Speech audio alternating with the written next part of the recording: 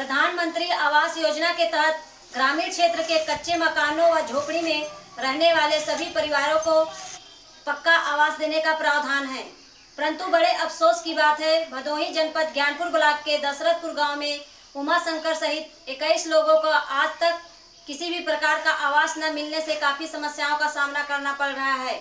यह परेशानी बा है एक घर में यहाँ लकड़ी खाना पीना कुल रात भर दऊ बरसत है। अभी हमके देलन के लेके ही लेके परेशानी करे थी ना तो रह आवत जात हैं बहुत परेशानी होत है। अभी हम लड़कियन के लेके ही मुथा करित है पानी रात भर दहित है। अब आदमी भी हमारे बीमार दिख बा है कैंसल हो गया बा कुल बहुत दिक्कत बा हमें सबके रहे की जगह नहीं है। प्रयास करे रह? प्रयास का यही मेरी सुने रहे कि अरे आवाज़ से आए बा। और बाद में सुनते हैं कि नहीं आए आए बा है। तो ओके आप कहीं पता लगाए ब्लॉक व्लॉक में? कहाँ पता लगा ये पढ़ा लिखा सही नहीं? पढ़ा लिखा हो तो भला कुछ जानकारी होती। अगर आपका आवास बन जाए तो आपके का फ़ायदा होई फ़ायदा ये हुआ हमारा दू ठे चार ठे जोन चार ठे जोन बच्चा हैं।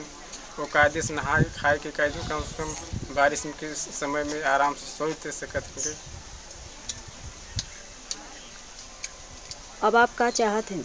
हम आवाज़ चाहे थे मैं वीडियो देखने वाले सभी दर्शकों से अपील करती हूँ कि ज्ञानपुर ब्लॉक के दशरथपुर गाँव के सेक्रेटरी जिनका मोबाइल नंबर है चौरानवे पंद्रह सत्तानवे अड़सठ, छियासी पर कॉल कर दबाव बनाएँ और हमारी मदद करें।